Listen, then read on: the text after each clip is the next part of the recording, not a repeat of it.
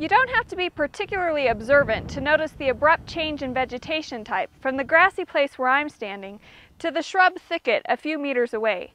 But you might be interested in why it's that way and what it has to do with life in northern Wyoming. The shrub we're looking at is called curlleaf mountain mahogany, and it's found in the drier landscapes of northern Wyoming. It has a close relative, the true mountain mahogany, that lives farther south. Both species of mountain mahogany are heavily browsed by deer in the winter and are an important part of the diet. The more heavily the shrubs are used by deer, the more spines they produce to protect themselves. Mountain mahogany thrives on shallow, poorly developed soils that are usually high in calcium. It grows almost on bedrock here in the foothills up to about 7,500 feet elevations.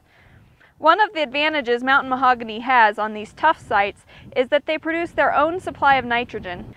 So when mountain mahogany stays where it is now, it has a sort of home field advantage. However, when the shrubs venture out onto the deeper soils, they're subjected to strong competition from the grasses for water and nutrients and to more frequent wildfires. Mountain mahogany is just one of the hundreds of tough critters that make Wyoming interesting. From the University of Wyoming Cooperative Extension Service, I'm Zola Ryan.